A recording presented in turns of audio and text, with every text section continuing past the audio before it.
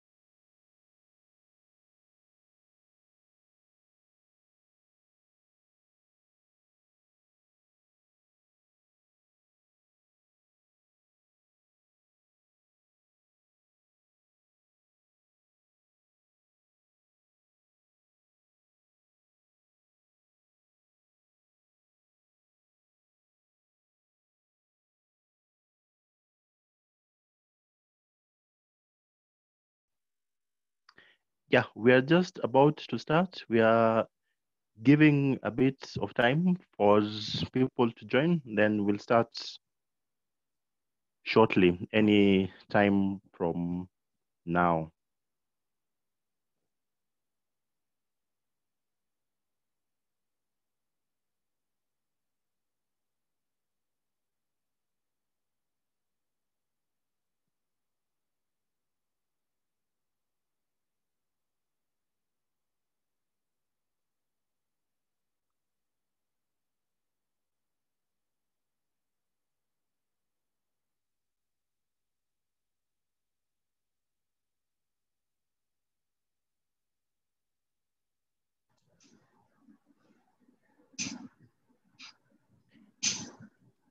Yeah, so today we have Dr.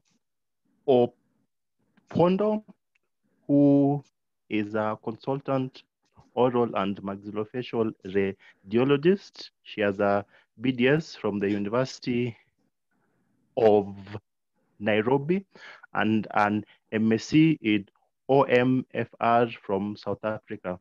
So I think she will explain to us she will explain to us what OMFR stands for. So without taking too much time, Dr. Opondo, karibu sana, you may continue. Thank you very much, Dr. Kere, for the welcome remarks. Um, I also take this opportunity to thank the Kenya Association of Pediatric Dentists for giving me a wonderful opportunity to speak on this platform. Uh, OMFR stands for Oral and Maxillofacial Radiology, which is my qualification from UWC in South Africa. Thank you very much for this opportunity once again and welcome everybody. So uh, the ideal imaging world would uh, comprise imaging modalities that do not use, utilize ionizing radiation. That has not been realized to date, unfortunately. We are still utilizing ionizing radiation for many diagnostic procedures. And in the meantime, it is the responsibility of each and every clinician that either orders or performs radiological examination to protect themselves and the patients by reducing radiation burden and by keeping each and every exposure as low as reasonably achievable. So tonight I'll be discussing imaging considerations for the pediatric dental patient. And I'll also limit my uh, discussion to those diagnostic modalities that utilize ionizing radiation within the scope of the pediatric dental practice. Please confirm to me, Dr. Kere, uh, whether you can see my slide and whether you can hear me well before I proceed further.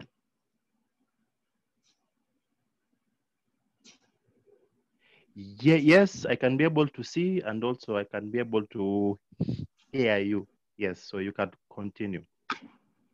Okay, thank you very much once again.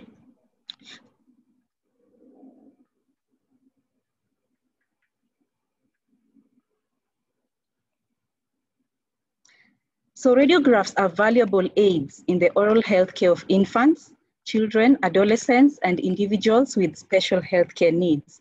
We really cannot away with radiography if we are to offer the most uh, quality service to our patients. And dental radiology is a very high volume field, hence the need for the regulation we see so far. In, the, in Europe alone, uh, dental radiology accounts for about a third of the total number of radiological examinations that are performed. Uh, it is well known and documented that children are at higher risk from the detrimental effects of ionizing radiation. Uh, some studies report that um, children are more at risk by up to 10 times compared to middle-aged adults. And many epidemiological studies have also uh, proven the risk of brain, salivary, and thyroid gland tumors in relation to medical diagnostic imaging. The need for imaging is, can only be determined by the clinician after performing a detailed history, clinical examination, and assessing the patient's vulnerability to environmental factors that affect oral health So we cannot perform radiographs for every patient as a blanket, never to be conducted routinely, but must be justified on a case-to-case basis. So the main indication for dental radiography is to diagnose oral diseases. Secondly, to evaluate uh, dental alveolar trauma and also to monitor dental and facial development and the progress of ongoing therapy in our patients. So the outline of my discussion today will entail uh, an overview of radiation biology, whereby I'm going to lay a foundation for what I'm going to discuss tonight. And I'll also cover the guidelines, the current ones for prescribing radiographs and radiation safety among children. I'll talk about the challenges in pediatric radiography and how we can navigate some of these challenges. And then I will conclude by making some remarks about how we interpret images in order to make the most of them. So where did, how did X-rays come about? Just to give a brief recap. X-rays were discovered way back in 1895 by a German physicist by the name Wilhelm and this was an incidental discovery. He was not a medic and he was not performing a medical procedure. He was actually busy in his uh, cathode ray lab during his, doing, doing his physics uh, experiments. And incidentally, the lights having been switched off, he noticed that when he powered his, cathode ray tube by switching on the, the power supply, there was um, so there were some particles at a table nearby in the same room that would fluoresce and produce a green light. He switched off the power supply and the fluorescence stopped. And when he switched it back on again, he noticed the substances were glowing yet again, producing a green fluorescent glow. And thereafter, he realized that there must have been something being emitted by the cathode ray tube that was able to make substances fluoresce and glow. And thereafter, he carried on with several other experiments and he discovered that there must have been a ray that was coming from the cathode ray tube powered at a particular kilovoltage that was able to produce current and produce uh, an array that was un unknown at that time. And that is when he the X-ray because he didn't have a name for it. And that is just a, a diagram of Wilhelm's uh, physics laboratory where he was performing his experiments when he made the discovery. And he went ahead to really uh, build up on his novel discovery, and he performed the first medical radiological examination by performing a, a plain X-ray of his wife's left hand. So X-rays are very high energy electromagnetic wave, electromagnetic waves, and they can break chemical bonds in materials that they penetrate. And it is this breaking chemical bonds that alters the structure and function of cells in living tissue. Uh, initially, the use of X-rays was without any restraint because their adverse effects are really not known. There were injuries because of exposure to radiation, but these injuries most of the time not even attributed to the X-rays because of the slow onset of symptoms. And there we see Sir Wilhelm busy explaining his novel discovery to his fellow physicists. And it must have been a very proud moment for the entire profession. So uh, this brings me to discuss radiosensitivity. What is radiosensitivity? This is a measure of a tissue or organ's response to irradiation. Radiosensitive cells have the following characteristics. They have a high uh, mitotic rate. They undergo many future mitoses and they are primitive at the time of differentiation. So many of these, uh, all these characteristics mimic the cells that are found in children, okay? Most, uh, the bodies of children have cells that are still primitive and if all things remain constant, children have a longer lifespan than adults. And that is why they are more sensitive to radiation. And it gets even worse when you're talking about the unborn child, the fetus, the embryo, whereby the radiosensitivity is far, far, far more, much higher. Um, common terminologies when you're talking about radiation sensitivity that you will encounter are deterministic and stochastic effects. What are the, what is the difference between these terminologies? So to stochastic effects are effects that we are exposed to during the, the routine, the normal uh, radiological examinations that are performed for diagnostic purposes. And these are the effects that we're actually worried about when we perform dental uh, radiological examinations. These effects are probability effects. They can occur at any dose. They don't have a threshold dose. They can occur at a very small dose as well. And the probability of stochastic effects happening increases as you increase the dose, the radiation dose. Stochastic effects include sublethal changes to the DNA of living cells. Uh, the, when these effects take place, they modify the DNA of cells, and that is when we get things, uh, uh, it results in carcinogenesis, for example, and long-term heritable effects. So in the field of dental uh, radiology, we are concerned about stochastic effects. And which ones are deterministic? Deterministic effects are predictable effects. They occur at very large radiation doses. Uh, for example, the doses that are, are encountered in nuclear accidents or atomic explosions, like the bombings of Hiroshima and Nagasaki back in the, in the day, whereby there key, uh, key, there's killing of a large number of cells. And because they are predictable, they have threshold doses and this is, these are the kind of effects that patients are, are, are exposed to when they undergo radiotherapy. For example, you can predict that at a certain number of grays, uh, uh, in terms of dosage, the patient will have mucositis or xerostomia or many other effects that can happen. But within the confines of dental uh, radiological examinations, deterministic effects do not occur because we are dealing with much uh, smaller doses of radiation. And just to put you into perspective concerning deterministic effects before I go on with stochastic effects, these are effects that occur once again because of large uh, doses of radiation. So this is a periapical radiograph of a, a nine-year-old uh, girl who underwent radiotherapy at the age of four because of Hodgkin's disease.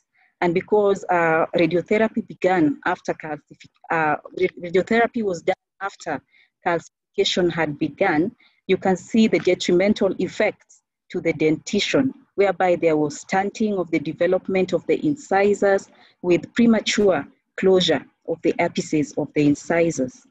And uh, the panoramic radiograph of the same patient reveals the same thing, stunted roots and premature closure of the apices. So these are deterministic effects that can occur at very large radiation doses. Like I said, in dental imaging, we are concerned about stochastic effects. And most data currently on radiation-induced carcinogenesis is from populations that were exposed to very high levels of radiation. But in principle, because they are based on probability, even very, very low doses of radiation pose risk to stochastic effects. And this is called the linear theory, which is as a result of extrapolation of what is seen after exposure to very large doses. Among the kind of cancers that have been reported after exposure to ionizing radiation, uh, leukemias have been seen after bone marrow radiation, especially in children who are very young, under 20 years, and especially the first decade. There have also been reports of um, radiation-induced thyroid cancer and this is greater early in childhood, and several cohorts of children have been studied in regard to this. Uh, there are also studies that have associated tumors of salivary glands and dental radiography.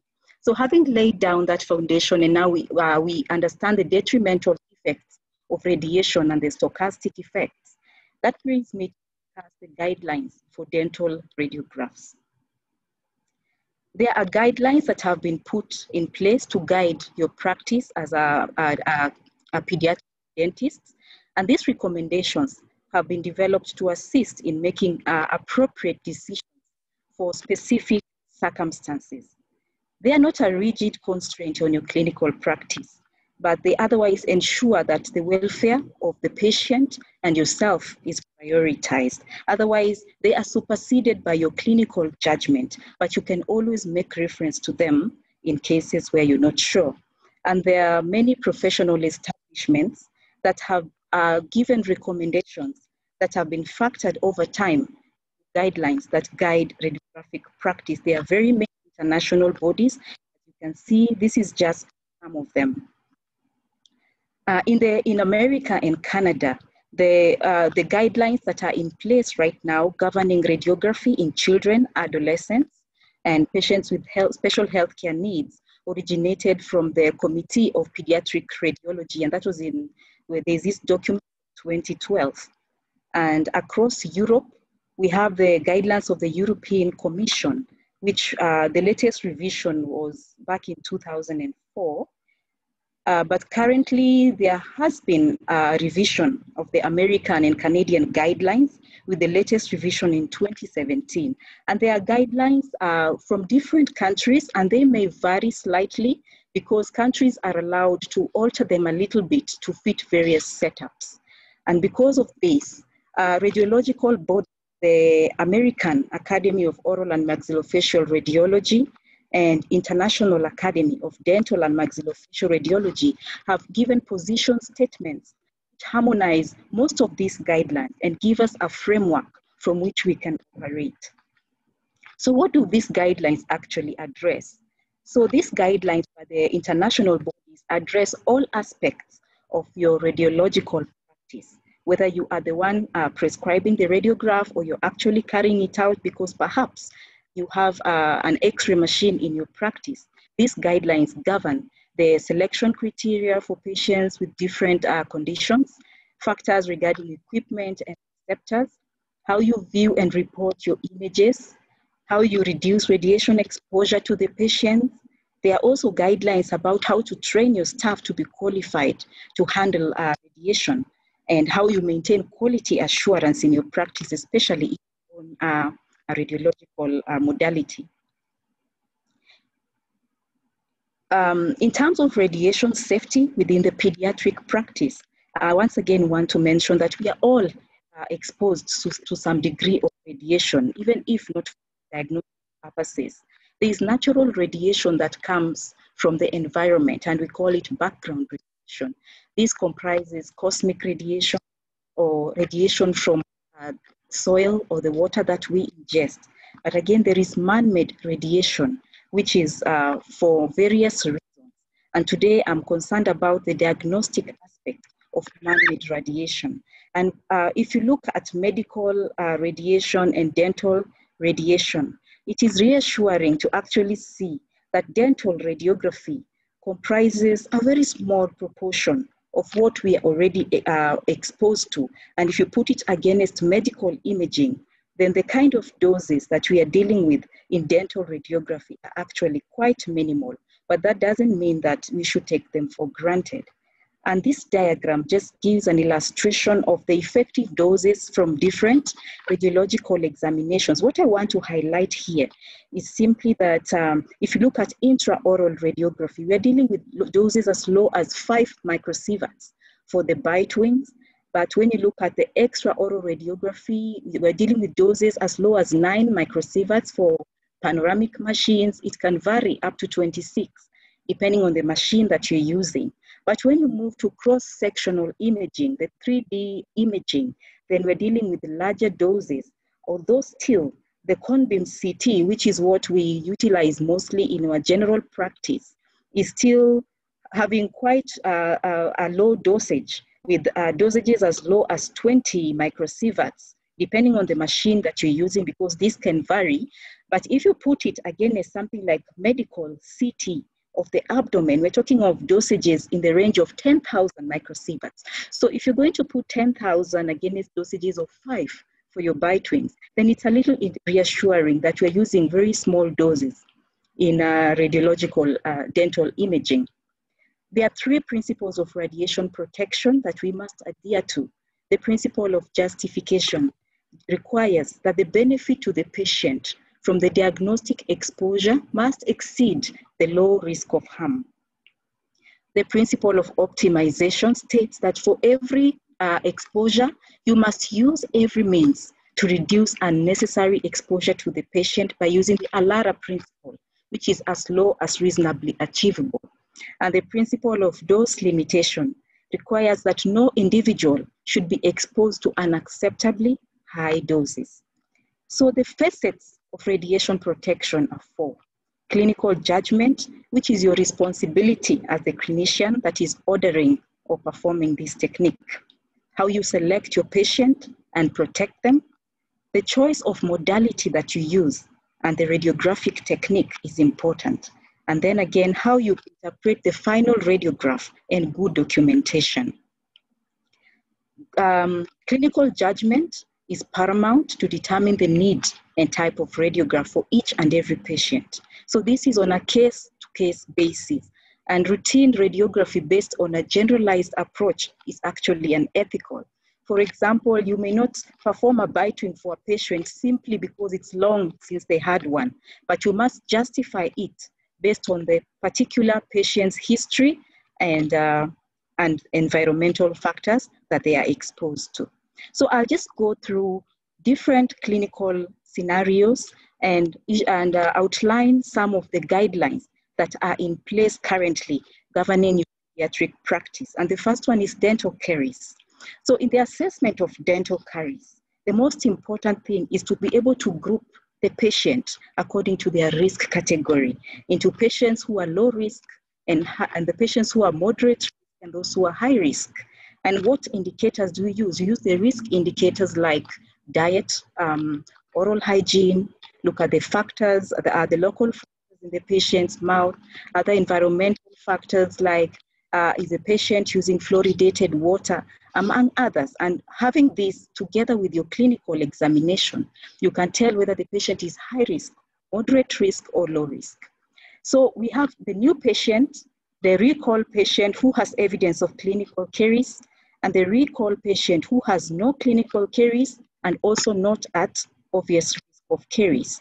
So for the new patient who is still with uh, in uh, deciduous dentition stage, selected radiograph can be performed, but only if the proximal surfaces cannot be visualized or probed.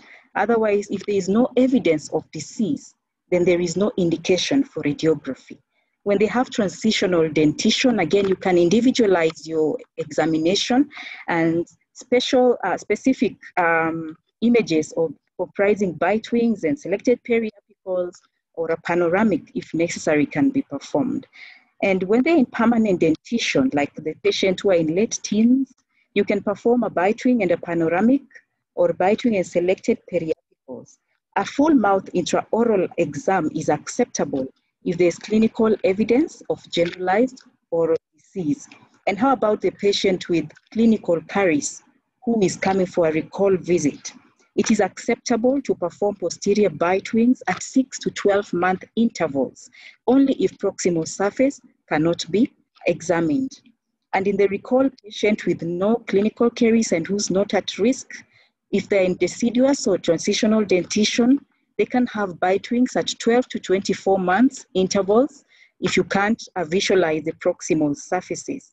And in the permanent dentition stage, bite wings are acceptable at 18 to 36 months interval. And note that in permanent dentition stage, it is unlikely that you'll be able to, to visualize proximal surfaces clinically. So it's acceptable to perform these radiographs within 18 to 36 months. But what stands out in the guidelines for caries assessment is that only if proximal surfaces cannot be visualized or probed, then the patient can have a radiograph performed. How about in orthodontics? Mixed, in mixed dentition stage, for example, at the point where you are expecting the canines to erupt from around 10 onwards, the patients may need radiographs, especially if there is delay in eruption or you suspect uh, displacement of uh, the canine to take a different path, you can perform radiographs to determine any need of interceptive treatment. The lateral ceph is a common radiograph uh, for orthodontic uh, evaluation, and it can be performed pre-treatment or at the end of functional appliance treatment because you want to assess the position of the incisors or even before the end of active fixed appliance treatment. For patients who've got uh, facial asymmetry, okay, like in some hypoplastic conditions, a posterior anterior view of the face is acceptable to assess facial asymmetry. And there are times when um, the normal conventional imaging is inadequate to answer your diagnostic question, then it is indicated and justified to perform 3D imaging in the form of cone beam CT, but this may not be used for routine orthodontic assessment, but only for specific candidates. For example, in localization of impacted teeth, in this periapical, we see an impacted canine, uh, a maxillary canine, and it is not possible from this view to know uh, the exact size of the follicle or even the effect that the impacted canine is having on the surrounding teeth. And uh, to localize this tooth better and to assess the effect on the adjacent structures, you can perform a, a cone beam scan. And in this cross-sectional axial slice, you can see that the root is positioned palatal to the central and lateral incisor. The follicular space can be measured on a one-to-one -one basis, hence you get accurate measurements, and you can even be able to tell when cystic transformation is going on. And we can also be able to see the effect it's having on the roots of the other incisors. You can see signs of uh, external resorption. In the monitoring of growth, it's acceptable to have a, a radiograph after eruption of the first tooth, depending on your clinical judgment, to assess uh, the patient's growth and development. But this should not be repeated unless it's dictated by clinical signs and symptoms panoramic or periapical performed for initial assessment of developing molars, again, should not be repeated routinely unless there is clinical indication for this. How about assessment of skeletal maturity? Conventionally, hand and wrist radiographs have been used for this, whereby the carpals and metacarpals are visualized for certain ossification centers it is known that ossification happens in a predictable pattern, and this can be correlated to the patient's age. Unfortunately, uh, however, there are studies which have disputed the accuracy of hand and wrist radiographs in predicting growth spurts, like in puberty. And so currently in many places across the UK, they are not performing hand and wrist radiographs as standard of care for orthodontic uh, pre, uh, pre-orthodontic assessment. Radiographic assessment of cervical vertebrae can also be used to establish the stage of skeletal maturity using certain cephalometric landmarks of the cervical spine. In terms of receptors, the fastest receptors should be used. If you're using conventional film, you must use films in the, uh, in the EOF speed and it is even advisable to use digital sensors because they offer dose savings of up to 75% and the diagnostic quality is comparable. So this is just an illustration of different sensors. The first one is the conventional Kodak film in its envelope. The second one is a phosphor plate in the barrier uh, protection. And for the children, when you're using the conventional film, we're talking about size zero for the children. You can use size one if you need to image the periapical region. For the uh, very grown children, maybe in the late adolescence, sometimes you can use a size two film, but for the small children, use a size zero and they're able to tolerate that better. For the phosphor plates, we have different sizes from zero to four. And for pediatric imaging, you should use zero or one. And the third one, uh, the third and the fourth are the solid state detector. This is a CCD sensor. So for the children, we're talking about size zero or size one, yet again. And for the CMOS sensor, which is the fourth one, we're talking about size one for children because they come in two sizes, size one for the children and size one for size two for the adults. Film and sensor holders are advised in order to align the film with a collimated beam. And this uh, helps you to get better radiographs and reduces the number of retakes. It also helps you to eliminate exposing the patient's finger to ionizing radiation if they have to hold, to hold the film with the finger. Then collimation. What is collimation? This just means to limit the size of the beam that is exiting your aiming cylinder so that a very small uh, uh, volume of the patient's tissues is exposed to radiation, as you can see here. And there are different types of collimators, the rectangular collimators and the round collimators. The, round, the rectangular collimators are more efficient in reducing the size of the beam and preventing scatter and in limiting the size of the beam to the receptor size. And so they give you those savings up to five times compared to, to round collimators. And if you've purchased a, a, radiological machine that came with an open aiming cylinder, there are modifications you can do to actually collimate the beam and reduce exposure to the patient. For example, you can have a, rectangular metallic shield fitted to the open aiming device to collimate the beam the other thing you can do is to again have a, a an, an um, a rectangular collimator placed at the open end of the tube. So of the tube. So these are just different ways of collimating the beam. Again, in pediatric radiography, leaded aprons with a collar must be used, especially because of the thyroid gland, which is more susceptible to exposure during dental and uh, radiography due to anatomic position, particularly in the children. Unfortunately, there are instances where we are unable to use a leaded apron and collar. For example, for the panoramic and cephalometric radiographs, your patient may ask you why the radiograph is being performed or was performed without a leaded apron, and you should be able to explain this to them because when they wear a, an apron high in the neck or when there is a thyroid collar, like you can see here, we get a, an artifact in the, in the central region, and this hinders the diagnostic capability of the radiograph. So for this reason, we do not perform panoramic radiographs with leaded aprons and thyroid collar. Same as in the lateral cephalograms, I said they are used to assess cervical vertebrae. So we need to be able to see C1 to C7. For example, uh, this is a, a lateral ceph of an eight-year-old boy who had cleft lip and palate and stunted development of the cervical vertebra. And you see the difference in a normal eight-year-old child. If you compare the C1 to the C7, you can see the difference in the cervical vertebra. So for this reason, we do not uh, give the children leaded aprons and thyroid collars when we are performing uh, panoramic and cephalometric views. So that's for two-dimensional radiography. And there are those instances when your diagnostic question remains unanswered with your two-dimensional and conventional radiographs. And that forces you to image the patient in three dimension. And what is closest to us in dental imaging and with regards to the children will be cone-beam CT. This will be the, your next port of call as long as it's justified and the benefits of the procedure outweigh the risk. So how does 3D imaging differ from two-dimensional imaging?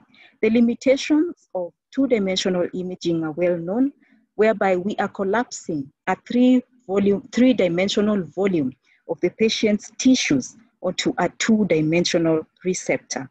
And with that comes distortion and a lot of superimposition, as you are seeing here. But then a time comes when you really need clarity before making certain clinical judgments.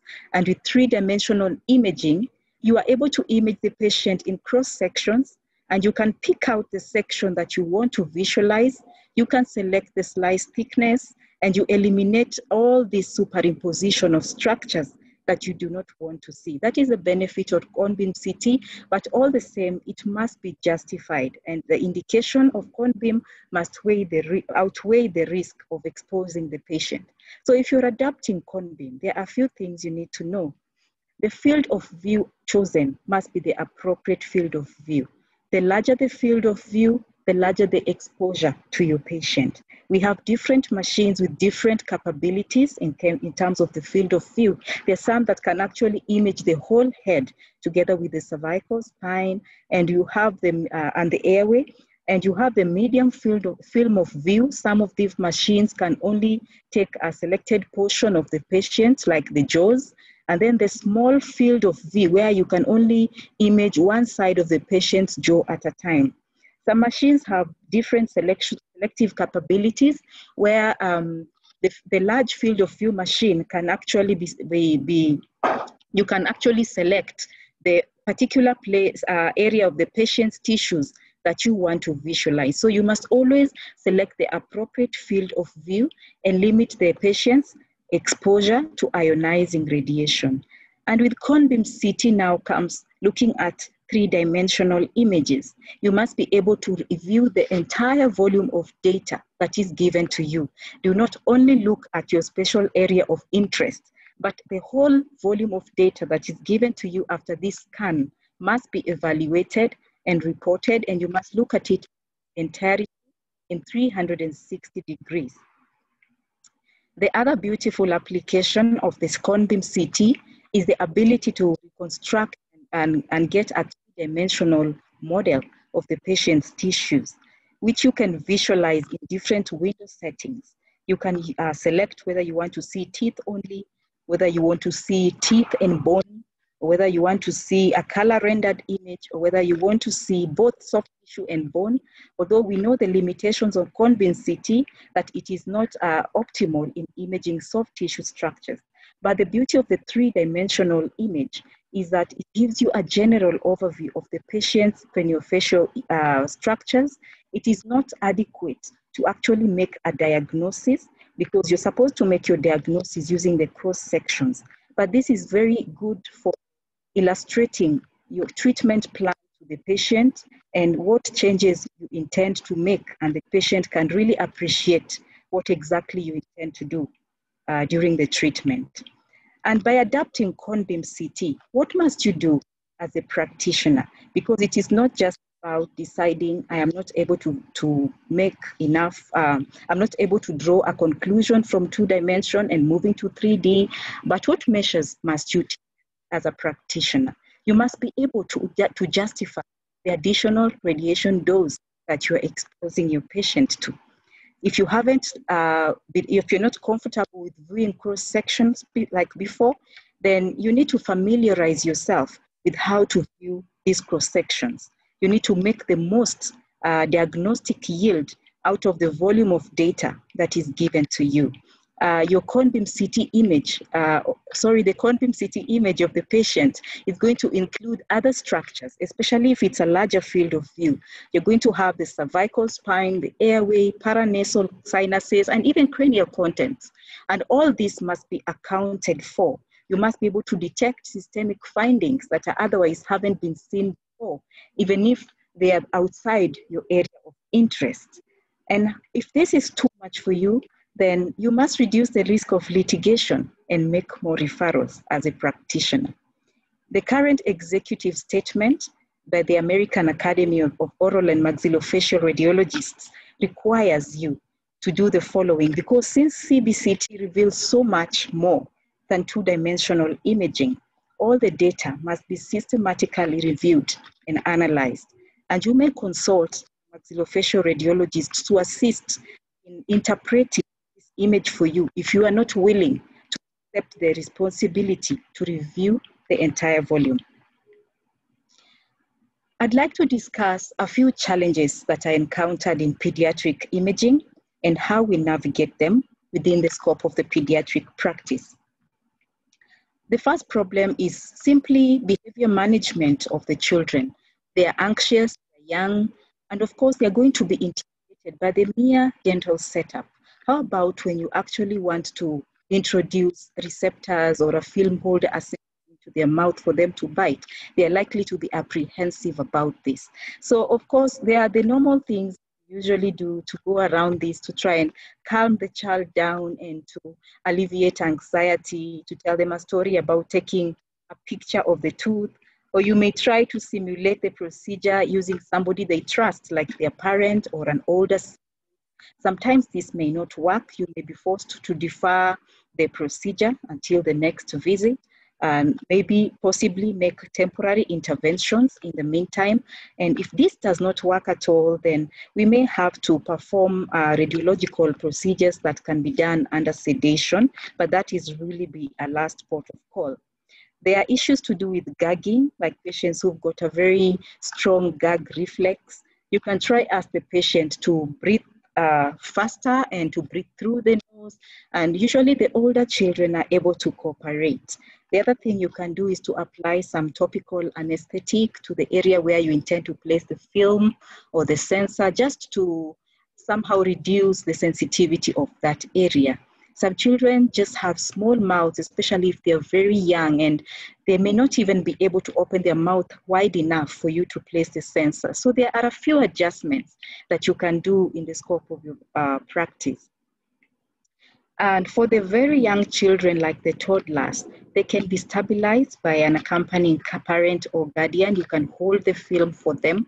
Uh, if you can be able to get leaded uh, gloves, there are places where leaded gloves are available to prevent unnecessary exposure to the fingers of the guardian or the parent. Again, we recommend using the smallest film or sensor available, and this is more comfortable to the child. There are times when you can try and place the film in the buccal sulcus rather than in the lingual sulcus because it is more, it is easier for the child to tolerate this. Placing the sensor in the lingual, on the lingual side for a very small child is very uncomfortable and you're unlikely to get their cooperation. But if you're going to place the film in the buccal sulcus, then you have to modify your examination because it means that the X-ray beam has to come from the opposite side of the mouth as, as compared to what you're used to.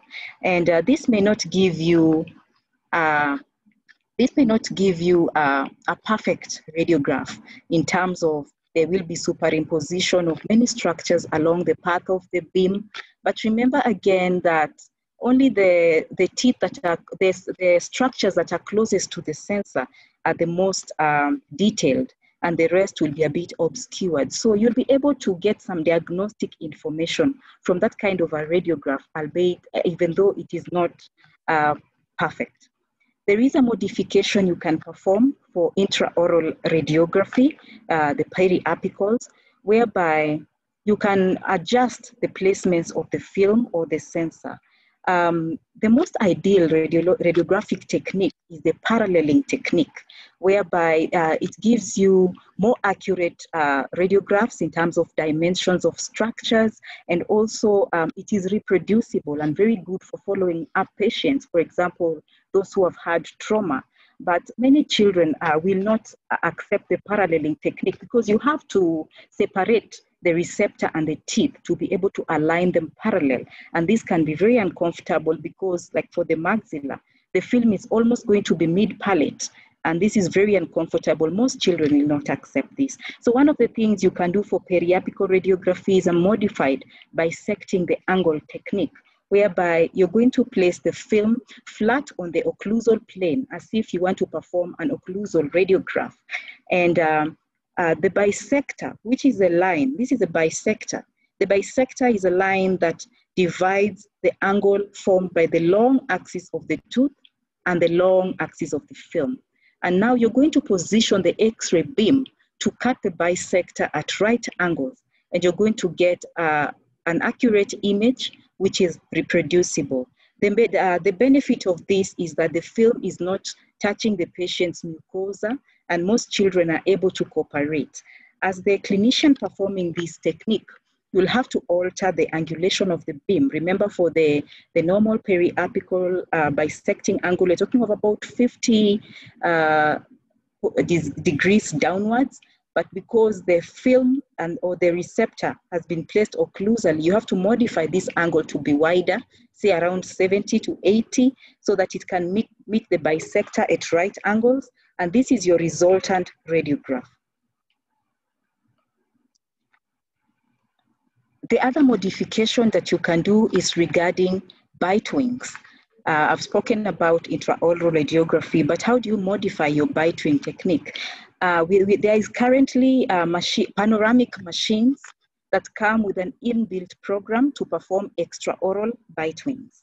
And extraoral bite wings could work for a child who is not going to allow you to place a sensor within the mouth. The child is just positioned in the Panorex machine in the usual way, like you can see, with head stabilizing and chin stabilizing apparatus. And we select the Bitewing uh, program, which comes with some machines. There are different brands of Panorex machines that currently have an extra oral Bitewing capability. Just to mention, for example, the Sirona, there is a Carestream, and um, among others quite a number. And this is a kind of a field limitation technique where the patient will only be exposed on the sides and there will be no radiation beam as a tube uh, oscillates around the patient in the, in the, in the front, at the front. So uh, with the extraoral bite wing modification, the patient can have good bite wings which occupy a wider anatomical region if the sensor is outside the patient's mouth. And this is just an article uh, that was published trying to compare the, uh, the diagnostic accuracy between intraoral uh, bite wings and extraoral bite wing radiography because I know you're probably asking, will I be able to visualize caries on a panoramic view? This is not the normal uh, panoramic view. Some exposure settings have been adjusted when you select the bite wing program. And when you take it to pediatric mode, it even comes greater dose savings. So here, this was an ex vivo study where they used radiological phantom to assess the accuracy to detect for detecting enamel caries. And this is just how they position the radiological phantom for the extraoral bite wing uh, acquisition. You can see the head stabilizing apparatus there and the chin rest and the patient biting there, sorry, the phantom there placed on the bite block. And then this is how they position the phantom again to capture the intraoral wing technique whereby they use the PSP sensor and the CMOS sensor just to see which one was more accurate in detecting enamel caries. And within the confines of this uh, ex vivo study, they reported that there was really no signi uh, significant difference in the accuracy of detecting enamel caries between the PSP sensor, which is this one, this image here was by the PSP sensor, and this was by the CMOS sensor. And this was the image that was got, they got from the extraoral bite wing using the Panorex machine. And they were able to detect enamel caries to acceptable accuracy level for all the three. And the, the differences were not uh, statistically significant. The other beauty of the extraoral bite wing uh, is that you are able to visualize much, much more. You can see here that you're able to visualize the crowns of the teeth, the entire roots, the periapical tissues, the intercrestal bone levels, and even the developing wisdom tooth can be visualized, including the surrounding bone. So you can also be able to diagnose other pathologies pertaining to the periapical region or, or periodontal disease, so to speak. And um, we've discussed the guidelines, how you justify your radiography, and now you've performed your uh, imaging procedure, whether it's a conventional or whether it's a cross imaging. So what do you do with that image? Then you must interpret it in the best way possible so that you can get the best diagnostic yield because that is what the principle of optimization requires you to do. So how do you interpret your image?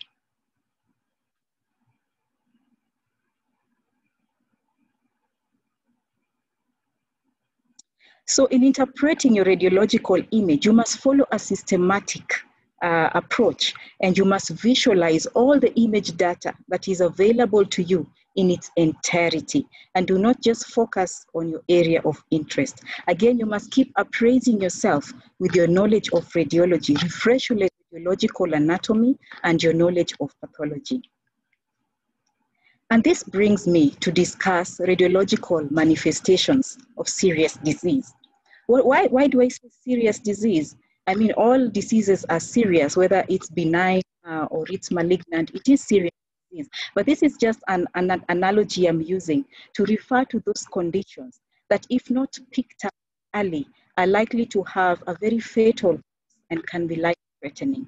Most of these conditions have subtle changes that manifest radiologically. And if you don't train your mind to actually recognize some of these changes, then you can mi- miss out things that if you saw them, you could actually have made a big difference in the life of your patient. Some of the manifestations of life threatening or serious illnesses, ill defined borders, whereas benign lesions tend to be well defined for the most time always, but they tend to be well defined. Most uh, aggressive illnesses will be infiltrative in nature and they'll be poorly mind, okay? When a patient comes and you expose uh, them to a radiograph, there are floating teeth. Floating teeth, I mean teeth that have no support, the destruction of the periodontal tissue and the surrounding alveolar bone. These are things to be taken seriously and must be correlated to the clinical features. When there's evidence of an ulcerative lesion clinically, plus underlying bone disease, then this is something that is likely to be aggressive. When there is loss of lamina dura, we need to look into this more attentively. When there's destruction of cortical outlines, for example, you look at your panoramic radiograph and there is destruction of the cortical, the dense cortical outlines of the orbit or the maxillary sinus or the follicles of developing dentition, or maybe the, the cortices of the inferior dental canal are not visible. This is something that you need to pay very close attention to feature uh, evidence of rarefaction of bone. By this, I mean that osteopenic appearance, such that you can see the bone is, is losing its over uh, its normal expected density and is beginning to beginning to look sort of osteoporotic. You need to pay a close attention to this. And this uh, brings me, as I wind up, to talk about leukemia. Why leukemia? Because this is a malignant tumor which is most very common in childhood. Well, it's not very common, but it's the most common malignancy in childhood, accounting for about 33% of childhood malignancies. And leukemia can manifest radiologically in a very subtle way. And if you're able to correlate these subtle changes on radiographs with clinical presentation of patients, then you're able to pick out that there is something serious that is happening. Acute leukemia is most common in the first decade uh, as compared to the chronic leukemias, and it can have gradual onset uh, within a few weeks, by, followed by a rapid progression of the disease within the next few weeks to several months. The clinical features in leukemia include fatigue. A patient is complaining of just generalized tiredness. tiredness.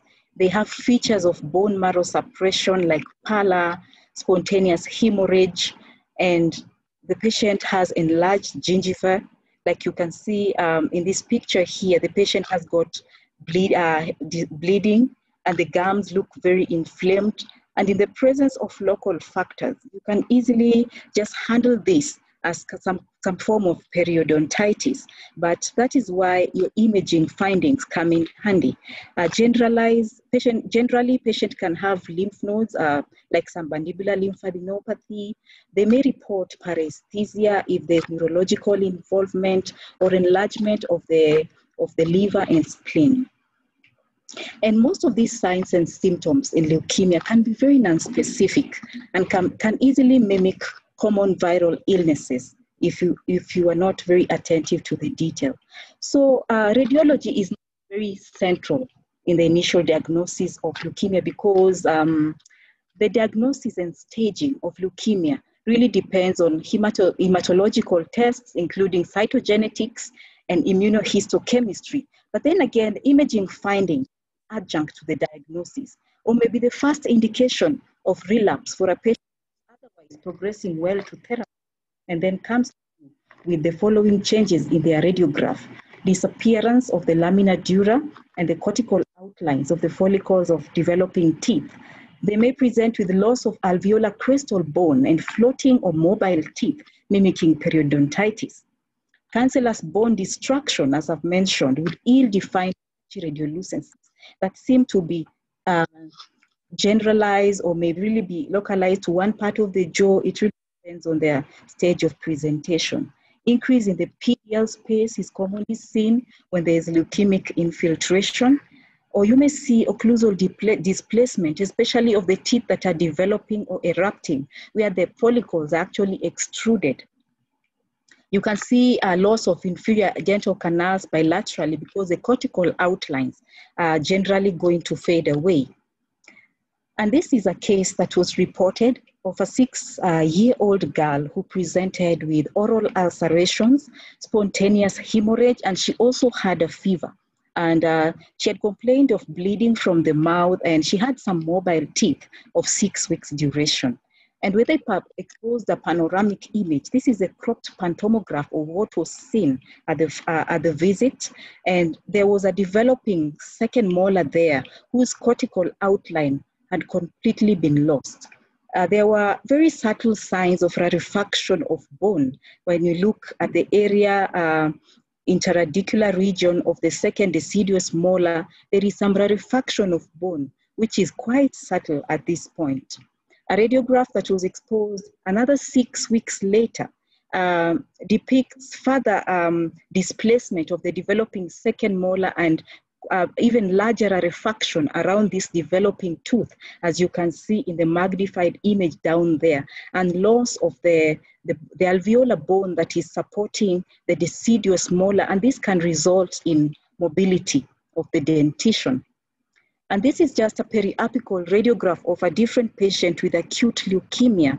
Uh, the first presentation of the patient, you can see the loss of the lamina. The, the, there is a bit of lamina dura, but it is lost in some aspects there with some periapical radiolucency.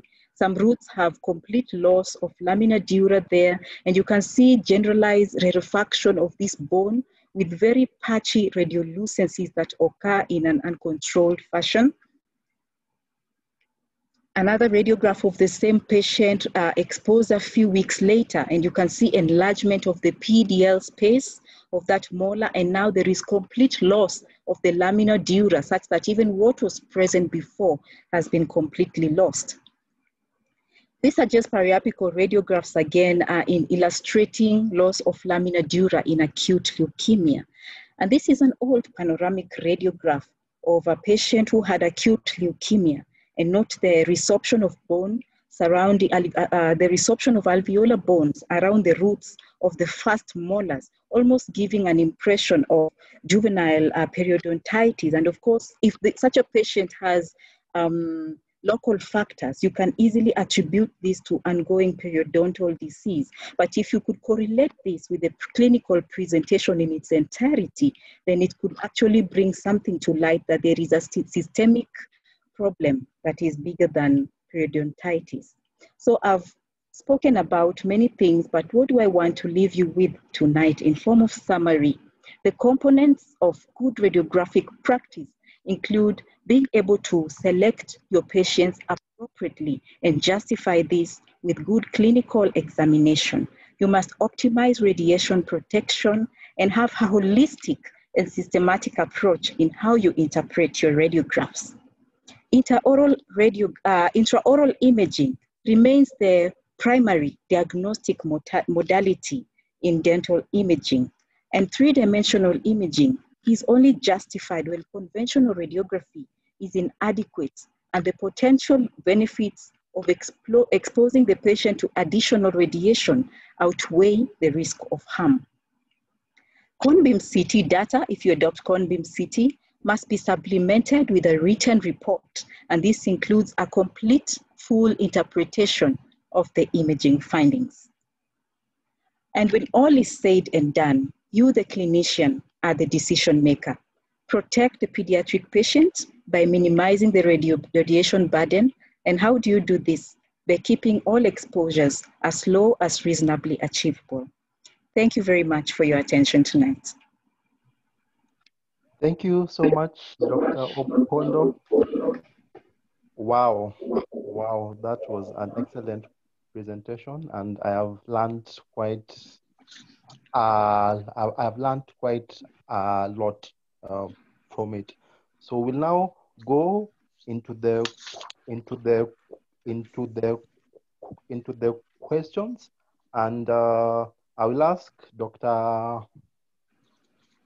Macharia to take us through the Q and A section.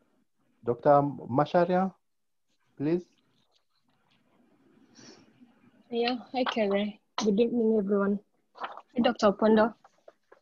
Um, Hello. Thank you for yeah, thank you for a very enlightening presentation. That was uh, very enlightening, and we acknowledge this is an important topic, as you have highlighted as children are more radio sensitive to adults than adults. So we'd really like to thank you for this. and would like you to come back. So um, going right into the Q&A, I only have one question.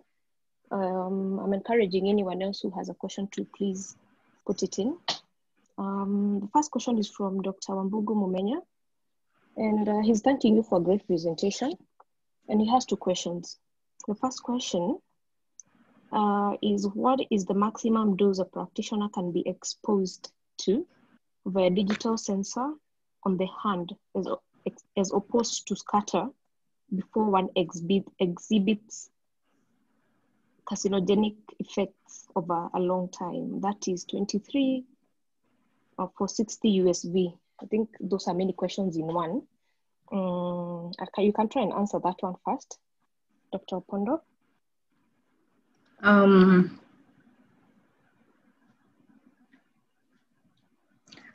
um, I'm not sure I understand your question very well, but I'll, I'll try and answer it. You're asking about the maximum dose that a practitioner yes. can be exposed to. Well, I will, I'm not going to answer that with a figure, but uh, there is radiation monitoring by the Radiation Protection Board for those who own radiation uh, equipment. If you own a radiological equipment of any kind, it must be registered by the Radiation Protection Board, whereby they come and inspect your facilities and they, they, uh, they are going to allow you to practice if you meet a, a, some certain bare minimum requirements. So there are uh, guidelines in place internationally to ensure that even practitioners or people who are exposed to radiation while at work, occupational exposure, so to speak, uh, that people are protected and there are set limits for radiation exposure. And for the dental practice, um, currently the, the set limit is 20 millisieverts. You're not to be exposed to anything beyond 20 millisieverts, and that protects you from any uh, deterministic effects of ionizing radiation. I'd like to encourage you further that the kind of dosages that you are exposed to for dental radiography are very, very low. And if you are able to actually monitor radiation by using radiation dosimeters, I do have one. If you have a machine and you're the one performing, you should invest in radiological dosimeters like um, in, sorry, uh, radiation monitoring devices like the TLD device, which you can submit to the radiation board for analysis monthly. And they can be able to tell you how much radiation you are possibly exposed to. But then again, your radiological technique is of paramount importance, even in governing the amount of radiation you're exposed to.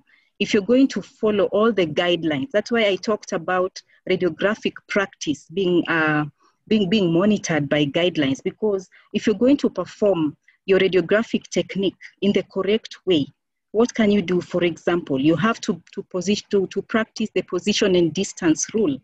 If you're in the room where the patient is, then you're going to have to stand at least six feet away from the x-ray machine and out of the path of the beam. And if you can do this, uh, studies have shown that the, uh, the radiation that you're exposed to from the intraoral machine will be almost negligible. The other thing you can do is barrier protection. You don't have to be in the same room with the patient. You can exit the room when you're performing the exposure. And when there is barrier protection, it is enough to actually attenuate the radiation beam to negligible or levels which cannot even be measured. And so if you combine good radiological practice, barrier shielding, stand out of the path of the X-ray beam, monitor your radiation exposure using uh, the dosimeters by wearing a dosimeter and submitting it for analysis, um, then you can be able to monitor how much radiation you're exposed to in general. And without giving a figure, I'd like to remind you that the stochastic effects are probability effects. They do not occur at a specific dose, but then again, the probability increases with the increase in the dosages. But be reassured that if you practice all these guidelines, then the amount of radiation that you, you would otherwise be exposed to would be so negligible for dental radiography. Thank you. Mm, thank you, Dr. Pondo. That's a very exhaustive answer. Um, he has a second question as well. And um, he'd like you to kindly explain micro CT scanners at 40 micrometer or 30 micrometer, especially in pediatric molars. Sorry, just come again. Micro CT scanners at? Uh, would you kindly explain mm -hmm. micro CT scanners at 40 micrometers or 33 micrometers, especially in pediatric molars? Well, micro CT scanners are currently not so widely available. And um, at the particular uh, at the particular dosages that you talk about, I'm not very familiar with how they would affect the pediatric patient. I would have to actually research on that and perhaps get back to you if I could share my email after this. Thank you. Thank you. We'll go to the next question from uh, doctor mm -hmm. Salma. How do we take radiographs in a very young uncooperative patient? in a very young and cooperative uncooperative, uncooperative patient, patient. Yes, please. uncooperative patient. Um, I, I also went through that, but um, I don't know how to answer without repeating everything. But I'll, I'll probably say to you that behavior management is key, and you must try and calm the patient down and alleviate their anxiety as much as possible. And how you approach the patient is very important. Simulate the procedure to an old, uh, to an adult that they trust, or even a sibling, and um, use the appropriate receptors for pediatric imaging. If they are totally unable to uh, accept this procedure, if it's something that can wait, make a temporary intervention and then uh, postpone the, the examination to next time if it's something that can wait. If it cannot wait, then maybe that such a patient may have to be sedated, but that would really be the last port of call. Thank you. Thank you. And um, she also has a second question. So she would uh, like to ask, how do you convince parents of apprehensive parents? How do you convince parents of apprehensive children who think um, x-rays are hazardous to their child's health? Well, the beauty of today's world is that there is a lot of data out there. It's not like a long time ago where your word was final. And if you're equipped as a, as a practitioner then you should be able to explain to the patient the known hazards of ionizing radiation, which I've covered uh, in my presentation today, but also reassure them that the kind of dosages that we are utilizing in, in dental imaging are very, very low and unlikely to expose the patient to any harm. Again, let them know that the benefit, the overall benefit of this procedure that you want to perform far outweighs the low risk of harm to the patient. You can also equip them with some articles that they can read to actually confirm this. And then as the practitioner also perform your technique correctly so that you don't have to take to have any retakes done. Limit the radiation to the patient and be able to explain to them the steps that you are taking to limit the radiation dose. Use a thyroid collar with a leaded apron as much as possible, except for panoramic radiography and cephalometry. Thank you, Dr. Opondo. Um, I'll ask a question that Kevin is, uh, Dr. Kevin Nendo is asking, building on to Dr. Salma, and he uh, would like to know if there's any specific behavior management tips to help in uh, getting children to cooperate when taking radiographs. Mm-hmm. Well, thank you, Kevin. Um, I would not say there is a specific behavior management tips, but I've given a number of a number of uh, alternatives that you could try to to choose because not everything will work for all patients. You know, speaking to one child may not work to the other child, okay? We, we, would not work for another child probably because the children are different. They're coming to us as individuals. So you have to tailor this depending on the specific needs of your patient. If you cannot get the child to cooperate, try and have extraoral techniques that do not involve putting the sensor in the mouth or try the modifications that I talked about, like the modified uh, periapical or the modified bite wing, where the, the sensor is on the buccal aspect in, instead of the, the lingual aspect. But yet again, if you completely cannot win the child's cooperation, If it's a very young child, you can restrain the child because that is acceptable as long as the parent consents to this. If not, you can always defer the examination and make temporary intervention. If it is something that cannot wait, for example, if you're talking about those radiological signs of serious illness and you really would want to refer such a patient because if a serious uh, underlying systemic condition must be ruled out then they have to be sedated because we cannot do without performing the examination thank you um, there's an anonymous attendee who'd like to mm-hmm. know if we have a center doing the extra oral bite-wings locally that you spoke about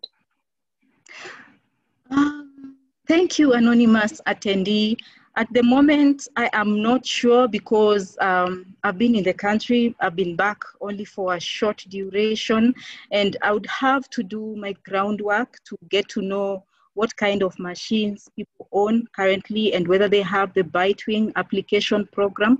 But what I'd like to tell you that there is a number of machines that have this uh, capability and chances are that there is one at least that can be able to perform this technique but this is something that i definitely need to look into but because it is available and not just with one machine very very many brands of machine have an inbuilt bitewing technology uh, bitewing application thank you i think we'll take you up on that later mm-hmm. um, is uh, Dr. Um, in Dr. Diana Rob. She says, thank you for a great presentation. And she's, uh, she would like to know if the upper standard occlusal or views can replace uh, IOPAs in an cooperative child. Um, yes, Diana, in uh, Dr. Rob, in a, a cooperative child, we must substitute. And that is why I can, I'm even offering modifications of techniques. We know what is ideal is the paralleling technique because even the periapicals, the bisecting angle technique is inferior to the paralleling technique. But then again, many children will not even allow allow you to perform a paralleling technique radiograph on them. And thereafter, you can settle for the bisecting the angle technique. If this is not possible, yes, the standard occlusal can definitely come in handy because you're able to visualize many things that you can see on the periapical uh, radiograph. The spatial resolution might just be slightly less, but they should be able to, to, to they should be an, an appropriate alternative for a patient who cannot tol tolerate periapical radiographs, definitely. Right. and Dr. Faith Kilonzo is uh, also um, saying thank you for an excellent presentation. And her question is, if it is advisable to still dress a patient and um, herself as the dentist with a lead apron and collar while using di digital imaging and specifically IOPAs. Thank you, Dr. Kilonzo. Um, the current guidelines actually state that a leaded apron is not mandatory if you're going to adhere to all the principles of radiation protection, including how you perform your, your radiographic technique. Because uh, these are things that we have to constantly appraise ourselves with so that our technique does not deteriorate over time. If you position your patient correctly, if your uh, machine has a rectangular collimator, if you're out of the path of the incident X-ray beam, then there's no absolutely no reason why you should also be leaded up. But because we don't always meet these ideal considerations, many times times there is a compromise in one or two. So there is no harm in wearing a leaded apron if you want to as a practitioner, if you're in the room. But if you're going to be outside the room, it is absolutely not necessary. If you're in the room, if you're six feet away and out of the path of the X-ray beam, it is not really necessary. But sometimes for your own uh, psychological uh, comfort, you can put on a leaded apron. But for the child, it is mandatory. You must give the child a leaded apron and a thyroid collar because that is what the guidelines say. Okay, thank you. Uh, Dr. Grace Katukwe is also uh, appreciating the presentation and should like to know what uh, is a recommended, recommended infection control protocol for lead aprons. For lead aprons, okay. Yes. So the lead aprons must be disinfected by alcohol wipes or you, you have to use whatever you're using to disinfect surfaces in the room is acceptable. They don't have to be washed. They should not uh, be subjected to unnecessary bending because this produce uh, creates micro um, it, it creates micropores in them and radiation uh, photons can go through. So you don't want to subject your leaded aprons to unnecessary bending. For example, you cannot wash it or put it into a washing machine, so to speak but you should be able to swab it with alcohol-based uh, uh, swabs or whatever else you're using to sterilize your working surfaces in between patients. Thank you.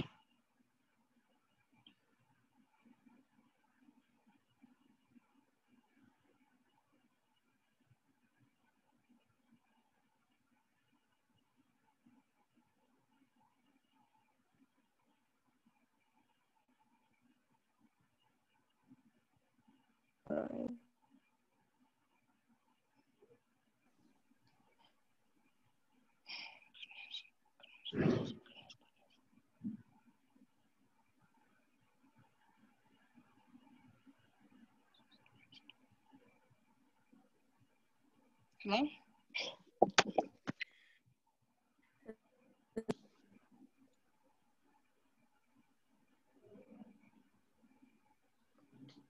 So I'm sorry, I had an issue on this end, but I'm back. The next question is uh, from Dr. Stella Kubasu, and she's saying thank mm -hmm. you mm-hmm. for a very great uh, presentation. And um, I will read through what she's written that clinically most children below age six present with um, multiple carious lesions. And the most uh, common one of X-ray routinely taken is the OPG. And uh, usually this shows carious extent and the position of the erupting um, secondary dentition. Because, and she's saying taking IOPAs is very frustrating in children. So, and that in fact, most pediatric dentists always ask for OPG, for OPGs so she's basically asking what your take is on this. I think basically, um, if OPGs can um, take the, uh, the place for uh, bilateral bitewings and uh, perhaps the IOPAs, I want to conclude that question with that. Thank you. Thank you very much, Dr. Kubasu. And um, if you remember the beam geometry principles in how we acquire OPGs, the resultant radiographs will have less spatial resolution if compared to the, their intraoral counterparts. What is really spatial resolution? Uh, that is really the ability to distinguish between two objects that are close to, together of different densities. And this capability is much less with the panoramic radiographs. And so with panoramic radiographs, yes, you can see um, a demineralization process going on on a tooth. It's not that you're not going to see it, you can see it. But the accuracy with which you can detect the extent is much, much less compared to the intraoral counterparts. So if it's really uh, within your control, it is preferable, preferable to perform bitewing radiographs or periapical radiographs because they accord you the best spatial resolution for caries detection.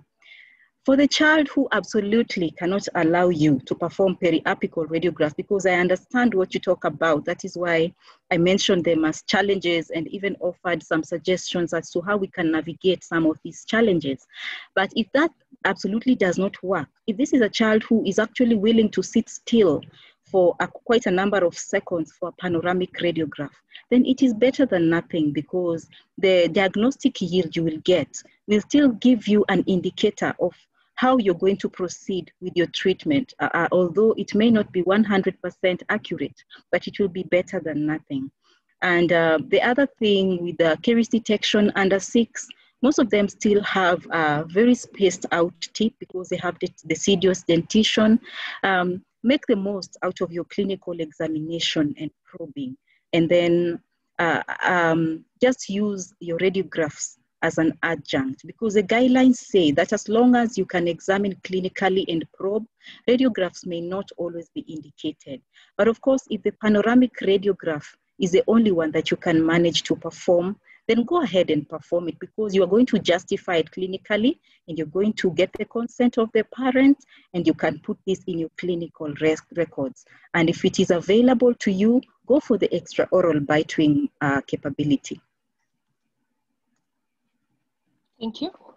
Um, Dr. Teresa would like to know how effective is the backscatter shield and would you advise their use in digital handheld x-rays?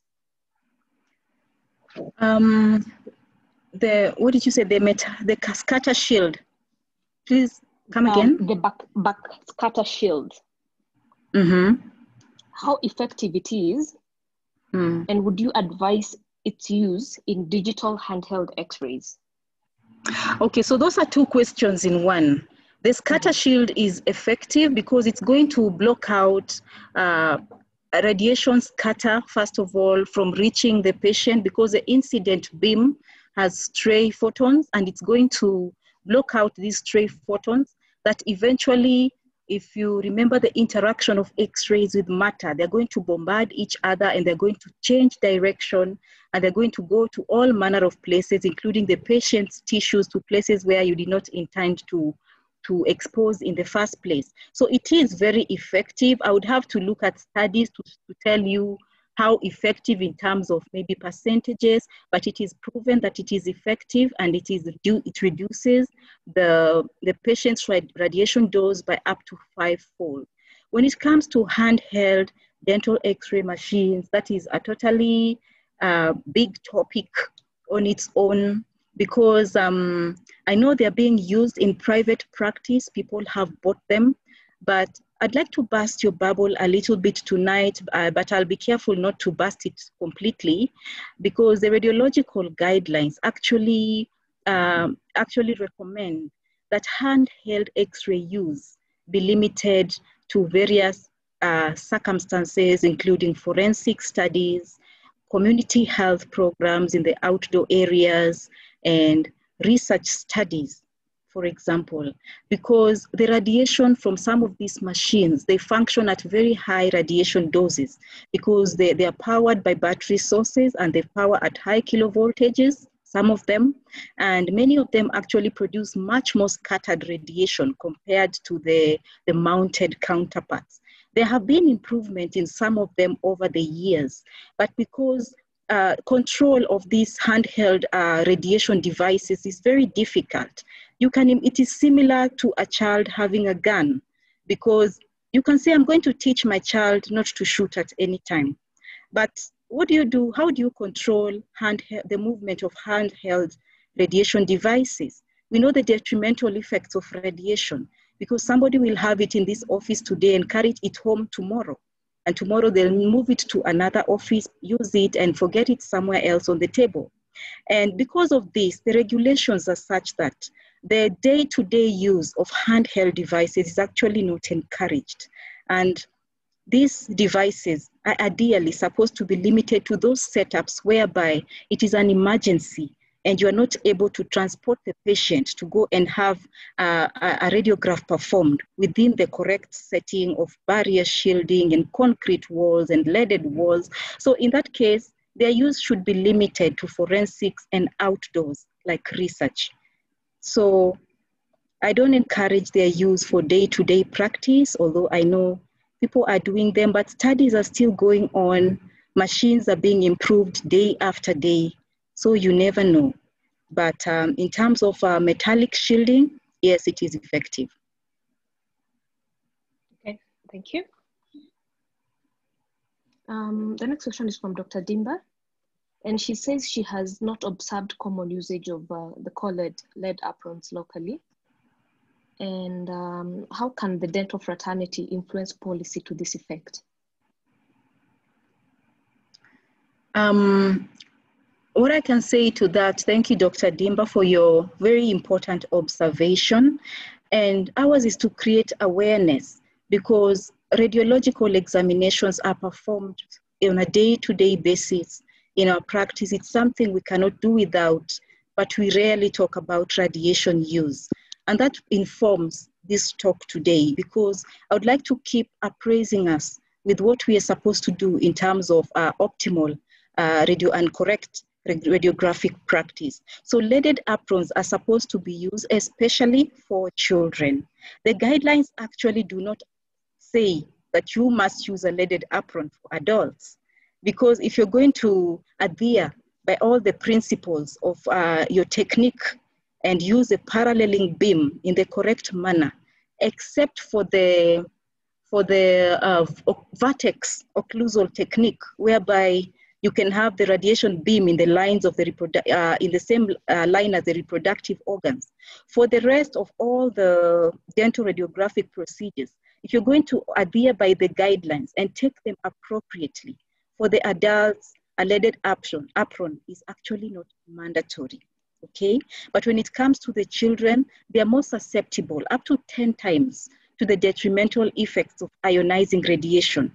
And to think of the thyroid, the, the, the thyroid gland of a child, very much more radiosensitive and situated high up. So these children must be leaded and they must have a thyroid collar, except for panoramic and cephalometric uh, uh, examinations. So currently, allow me to preempt that there is a team that is busy with uh, formulating guidelines for radiological practice in the dental setup unique to our Kenyan, um, in, into uh, unique for our local setup, which once, uh, once we are done, then those guidelines will be out there for everybody to observe and adherence shall be. And we are, we are hoping that there, there'll be adherence to these guidelines. Thank you. The next question, you've actually already touched briefly into it, but um, the anonymous attendee would like to know your opinion on the amount of exposure to the clinician when using the portable x-ray machine. Uh, thank you, Dr. Macharia. I think I've already gone through that, so maybe we can move to the next question if you allow me to. Yes, please. So uh, Dr. Salma is back and she would like to know how we can prevent uh, gagging in young children while taking x-rays uh, preventing gagging in children and taking x-rays, uh, modify your technique because a hypersensitive gag reflex is very difficult to handle and it's not something you can talk the child out of. They are sensitive and there is not much you can do about that. Maybe for an older child, can you try ask the child to breathe in and out through the nose rapidly and this somehow takes away their attention from the procedure so that they become less sensitive. If it's not working, apply some topical anesthetic to the mucosa adjacent to the place where you want to place your receptor just to, to numb that area a little bit and desensitize it. If it's not working, move your receptor to the buccal vestibule. Perform your uh, bite wing procedure by putting the bite wing uh, uh, film on the buccal vestibule as opposed to the lingual sulcus. And that means uh, the X-ray beam has to approach from the opposite side, of course, compromising uh, visualization of some structures a little bit because of superimposition, but you'll be able to get a reasonable degree of information even from this radiograph.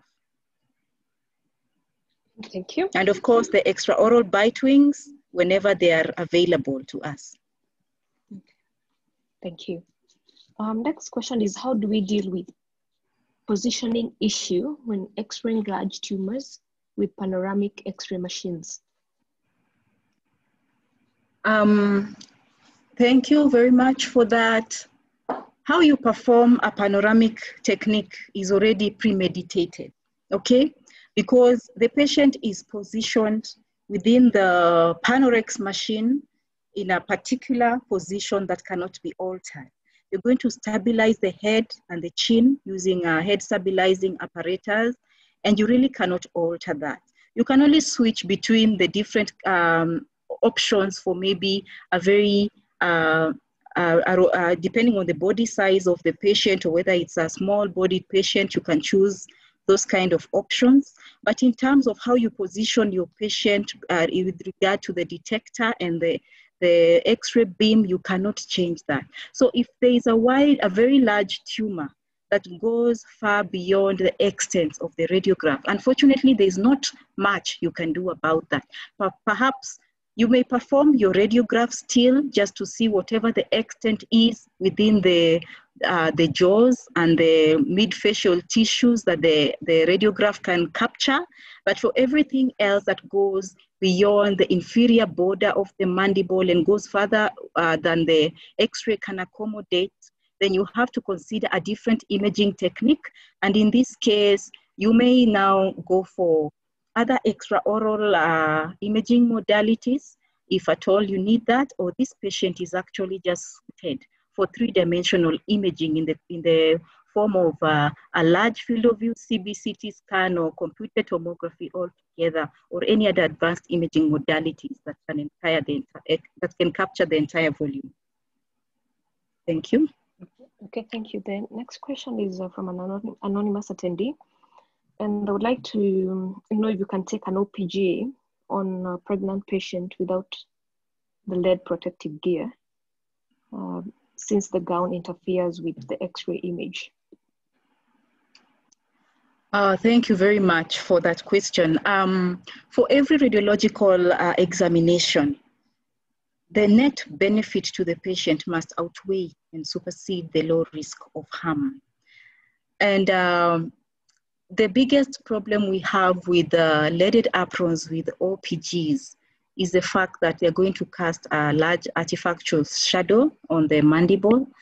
And um, if you have to take radiographs for panoramic, uh, sorry, for pregnant patients, it is advisable, first of all, to see by your clinical judgment whether the reason why you're performing the x-ray can wait because uh, the guidelines state that radiographic procedures that can be delayed should be delayed until after delivery, just also for the psychological uh, benefit to the patient. If it is not something that can wait, can you perhaps perform an intraoral um, radiograph to start with?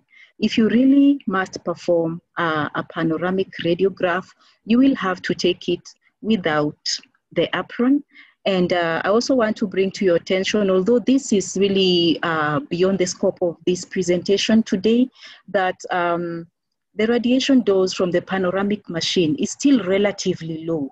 It's actually comparable to most uh, dental radiographic examinations. And um, if the patient is beyond the period of organogenesis, then I believe if the benefit of the examination outweighs the risk of harm, you can go ahead and perform the examination if it is something that cannot wait. Uh, because uh, the fetus, uh, the developing fetus is most susceptible to ionizing, the damaging effects between up to 12 weeks, sometimes up to 15 weeks, because this is a time of organogenesis. After that, as long as the, the, the X-ray beam is not in line with the fetus, if it is justified and the benefit outweighs the low risk of harm, then it is justified to go ahead and perform the examination. All right, thank you, Dr. Dr. Opondo. Uh, Dr. Salma would like to know if it is safe to carry out multiple dental radiography in leukemic children who are undergoing chemotherapy. In, sorry, come again? Is it safe to carry out multiple dental radiography in leukemic children undergoing chemotherapy? Yes, it is. Uh, as long as you can justify the reason why you need the radiograph, I hope you are not performing it for research purposes just to see the radiological changes in leukemia. If that is not the, if that is the only reason you're performing it, then it's not justified. But if it is justified by your clinical judgment that the patient needs radiography, yes, you can go ahead and take a radiograph. If anything, the patient is already exposed to so much in radiotherapy where now the dosage is in grays. Um, in dental radiography, we're still dealing with microsieverts and there's really no comparison if you put it against what they're already receiving in terms of radiotherapy. So if the radiation uh, exposure for the bite wing or for the intraoral radiography is justified, you, are, you can go ahead and perform it. Thank you. Um, the next question about to wind up uh, is from anonymous and attendee, and they would like to know how accurate an orthopantomogram is in age assessment in teenagers around 16, 17, 18 years. Um, age assessment uh, must be done using a, a, multiplicity of factors, not just uh, radiographs alone. You have to be able to correlate imaging findings and specific uh, tools that you're going to use for age assessment. Which assessment technique are you using? For example, are you using Demirjian or which one are you using? Because each one of them has uh, principles that you must follow. And if you're using uh, panoramic radiographs, yes, they are, they are accurate within certain confines. Uh, because um, as long as it is performed direct, uh, appropriately, um, you can be able to predict, depending on set standards, or how you expect the chronological age of a patient to match the dental age. So yes, you can use a, pan, uh, a, pantom, pantomogram uh, in correlation with other age assessment techniques that you are using. Remember I talked about the hand and wrist radiographs, the lateral ceph, look at the cervical vertebra, but there are age assessment methods that actually just rely on pantomographs. And yes, if performed uh, properly, it is adequate. Thank you. Uh, Dr. James Mwangi would like uh, to find out your take on um, uh, the fact that some insurances insist on X-ray images evidence before approval of uh, procedures and uh, he would like to know how we should go about this. Um, thank you, Dr. Mwangi. Uh, this is uh, sort of a pit because I'm going to answer it. Uh, I'll be biased because I'm going to answer it as a radio, as a radiologist and not as a clinician, uh, a pediatric dentist. So I'm going to be biased and say stick to the guidelines because you're practicing radiology within the confines of the Radiological Act. And something if you're performing the uh, the radiograph because it is justified that it will be a net of net benefit to the patient then that is good. But if uh, it is being performed simply because the insurance company has said it must be performed then i would say that is a misnomer. And um, I, I, be, I, I would advise you to actually take the interests of the patient and yourself first because when you expose the patient, you are also exposed. Because think of all the scatter radiation in the environment. And uh, remember, you're doing this just because the insurance company has asked for it. And the other way we can mitigate this is also to come up with our own local guidelines. And I told you, we are busy working on that because we don't have guidelines from our setup. We are mainly borrowing from guidelines from the American and Canadian countries and all across Europe. But if we come up with our guidelines, this is one of the things that we actually need to come to factor so that when you say no as a clinician, then there is a reference document that is governed by legislation that you can actually refer to. Okay, and um, there's a question here from uh, Dr. Nanji, and he says he has read somewhere that dental x-rays have 60% diagnostic value. What are your thoughts on that? Sorry, 60% of what? 60% diagnostic value. 60% diagnostic. Yeah, he, value, yes.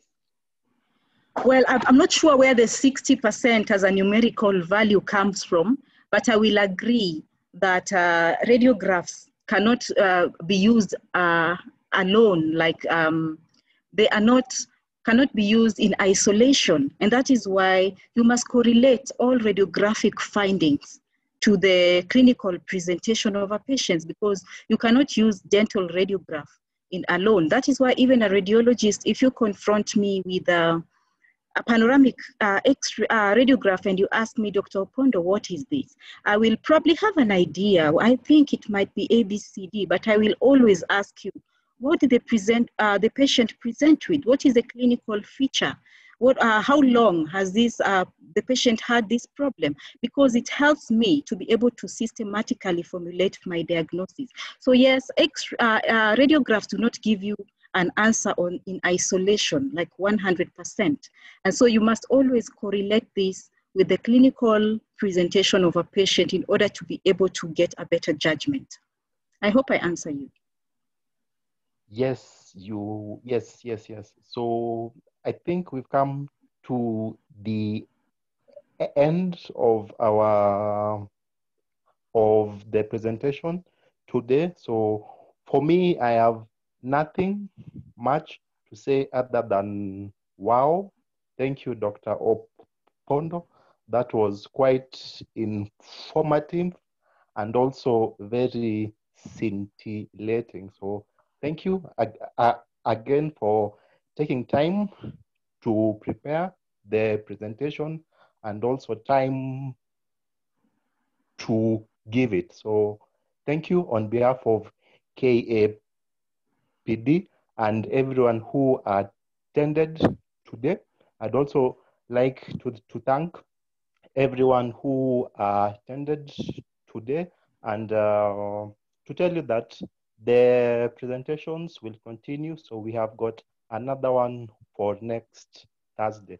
So thank you everyone. So I'd like to say good night to everyone and bye and thank you again for attending. So bye.